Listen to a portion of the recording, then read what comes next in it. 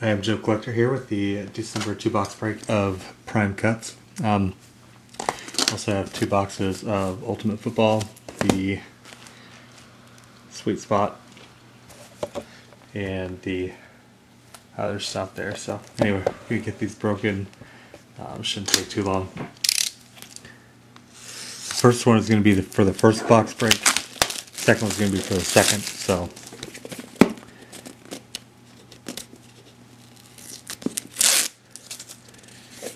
this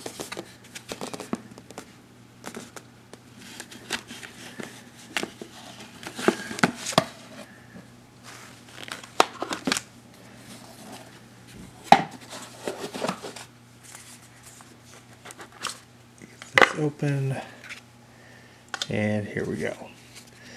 First card is a Daniel Cortes out of 25. Second card is Barry Larkin out of 249. Third card is Gil Hodges out of 249.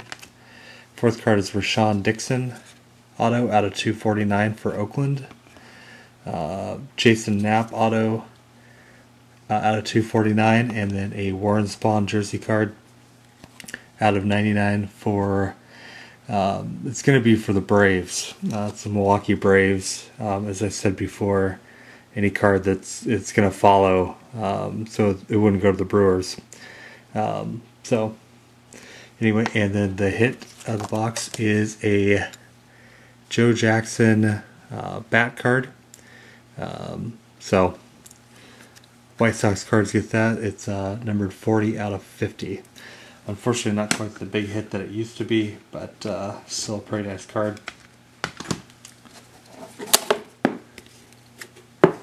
Go on to box two. Of nice to get something other than a Yankee or a Joe Medwick card. Both uh, the first three boxes were um, those cards. So anyway, and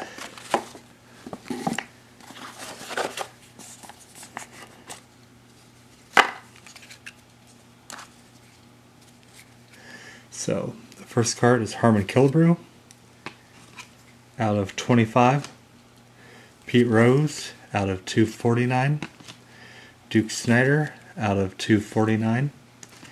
Wilson Ramos for Minnesota, not numbered.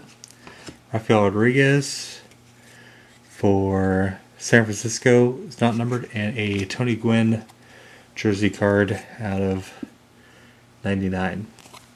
The hit of the box is a, another Joe Jackson.